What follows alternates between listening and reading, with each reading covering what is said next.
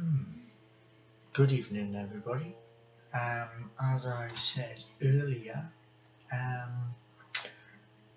been to Harley Davidson uh, Jennings today over at Gateshead and um, just been having a browse and um, this is the machine.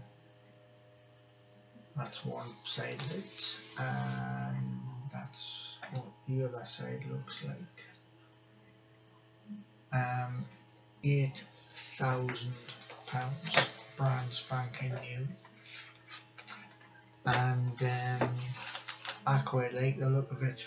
Um, I was hoping um, that my partner would come and have a look with us um, because obviously I'd like to have one of those back rests so that when the time comes she can get on the back and we can go for a little cruise.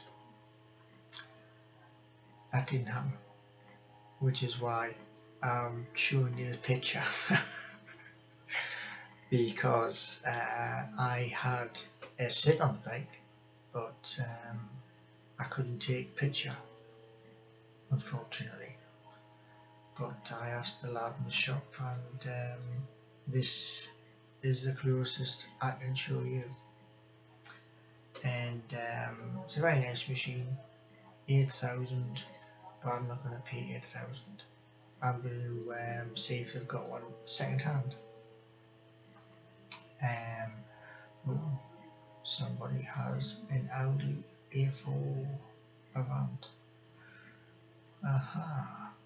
Well that is if I remember correctly that's an estate I don't like estate cars.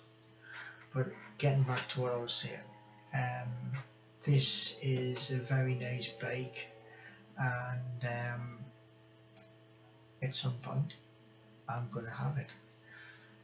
And when I do get it I'm going to shoot a video so that you all out there can see that.